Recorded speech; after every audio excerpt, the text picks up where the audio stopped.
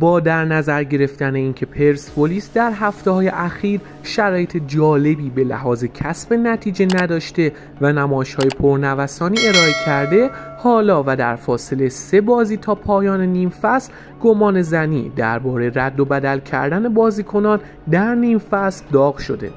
با توجه به نتایج پرنوسان پرسپولیس در این فصل و مشکلات این تیم در هفته های گذشته و البته مسئولیت های متعددی که حداقل سه بازیکن شاخص و ملی پوش رو از این تیم گرفت حالا برخی هواداران امیدوارن تیم محبوبشون در سه بازی باقی مونده نیم فصل اول جبران مافات کرده و با تقویت در پنجره نقل و انتقالات زمستانی برای قهرمانی دوباره قد علم کنه و به عنوان یک مدعی جدی در عرصه رقابت ها حضور داشته باشه.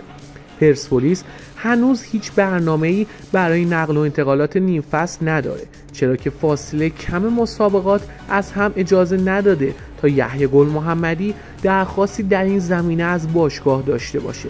ضمن اینکه خود باشگاه هم در بررسی های اولیه گزینه مناسب برای مذاکره و انتقال نیافته و هر شایعی هست تنها درباره جذب یکی دو بازیکن از تیم ملی نوجوانانه. در این حال در بحث خروجی هم یکی از دو بازیکن به عنوان نفراتی که شاید در نیم فصل اول از پرسپولیس جدا شوند شنیده شده. اما نه خودشان و نه گل محمدی هیچ واکنشی در این باره نشون ندادن و فعلا همه چیز در حاله از ابهام و سکوت قرار داره. با توجه به خالی بودن سبد خرید نقل و انتقالات زمستانی و البته دشواری های عمده جذب بازیکنان در این مقطع به نظر می‌رسه رفت و آمد زمستانی بازیکن در پرسپولیس بسیار محدود انجام بشه و حتی اگر خروجی های عمده ای هم باشه ورودی های, ورودی های زیادی نخواهد داشت. در بحث جذب بازیکن خارجی هم کار حتی بسیار دشوارتر از فصل تابستان خواهد بود. چرا که ریسک جذب بازیکن کارگوشای خارجی بسیار بالاتر میره. از یک سو باشگاه پرسپولیس نه منابع مالی مشخصی برای جذب بازیکن خارجی کارآمد داره نه اینکه تجربه خوبی در این خصوص حتی با بهره بردن از زمان کافی و حوصله بسیار داشته که آخرین نمونهش هم همین نبیل باهویی بوده. از سوی دیگه بحث پر بودن لیست بزرگسال پرسپولیس هم مطرحه. در حال حاضر این لیست 19 نفره هیچ جای خالی نداره و تنها در شرایطی پرسپولیس قادر به جذب بازیکن خواهد بود که به نام برخی بازیکنان رو از لیست خودش خارج کنه. نقل و انتقالات زمستانی پیش رو پنجمین بازی نقل و انتقالات پرسپولیس و یحیی محمدی در دوره دوم حضور او به عنوان سرمربی بوده. شاید با بررسی چهار دوره قبلی بتوان نشانه های از تحرکات مد نظر او در این بازه را پیدا کرد و روی این نکته انگشت گذاشت که کدام که از آن خریدها به درد پرسپولیس خورده و کدومشون هم خرید ناکارآمدی بوده. بررسیان نشون میده غیر از سال 99 در, در سه فصل دیگر چندان شرایط جالب نبوده و با اینکه خروجی ها چندان وزنی از تیم نگرفتن اما ورودی ها نیز غیر از یک فصل و یکی دو مهره دیگر در مقاطع بعدی چندان کارآمد نبودن حالا اگه بخوایم یک نگاهی داشته باشیم به پنجره نقل و انتقالات پرسپولیس در این پنج فصل اخیر. زمستان سال 98 ورودی آنتونی استوکس بود و کریستیان اوساگونا خروجی هم آدم همتی محمد امین اسدی جونیور برانداو حسین ماهینی و فرشاد احمدزاده. در شرطی که یحیی اواخر دی ماه به تیم اضافه شد مهلت چندانی برای نقل و انتقالات نداشت و مدیریت ناکارآمد دو خرید جنجالی و بنجل انجام داد. و هر دو خریدم همونطور که گفتم آنتونی اکسوس و آنتونی استوکس و اوساگانا تو زر از آب در اومدن و نتونستن حالا کار شاقی واقعا برای پرسپولیس انجام بدن.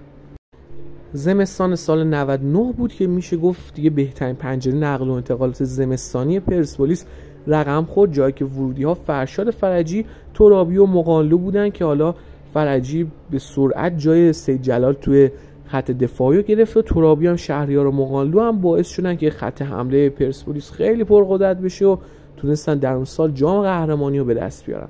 اما در سال 1400 باز هم به جز یک بازیکن حالا ورودی ها زیاد کار خاصی نکردن. احمد گوهری بود شرزا تمیروف بود و رامین رضاییان. احمد گوهری که حالا نشون دادش که فقط به عنوان دروازه‌بان دوم میشه حساب کرد نه به عنوان دروازه‌بان اول. تمیروف هم دیگه اصلا چیز قابل بحث نیست بهتر ازش رد شیم.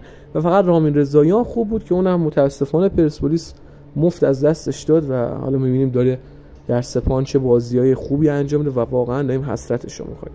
و در زمستون سال پیش هم ورودی لئوناردو پریرا و ایسا کثیر بودن که حالا آل کثیر خوب بود.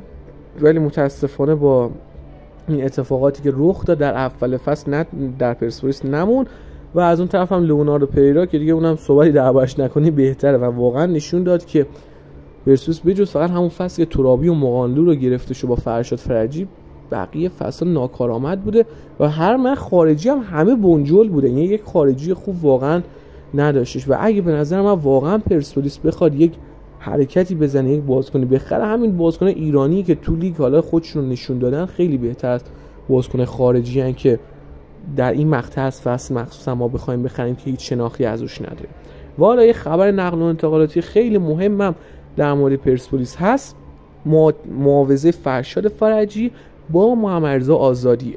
فرشاد فرجی که سه سال قبل در نقل و انتقالات زمستانی همونطور که گفتیم به پرسپولیس پیوست در فصل جاری بیشتر بازیکن نیمکت نشین بوده و تنها در دو دیدار مقابل پیکان و استقلال خوزستان در ترکیب اصلی قرار گرفت.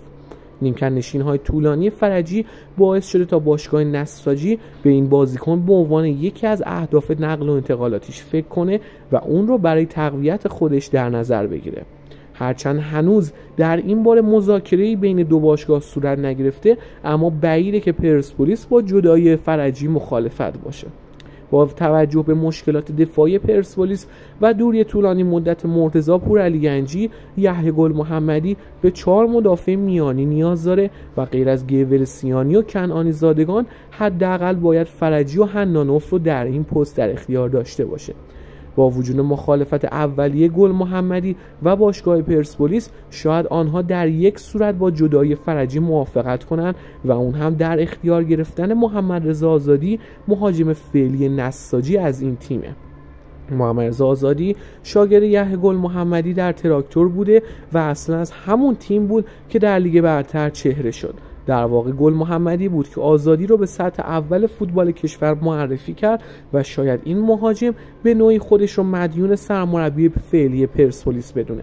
آزادی در فصل جاری با وجود مشکلات فنی نساجی یکی از خوبای تیمش بوده که در لیگ قهرمانان هم متوفق به گلزنی شد و حالا باید ببینیم این نقل و انتقال زمستانی پرماجرایی که دو باشگاه سرخابی پایتخت دارند سرانجام چه اتفاقی خواهد افتاد و چه بازیکنانی به این دو تیم میرن و چه بازیکنانی هم از این دو تا تیم خارج میشن.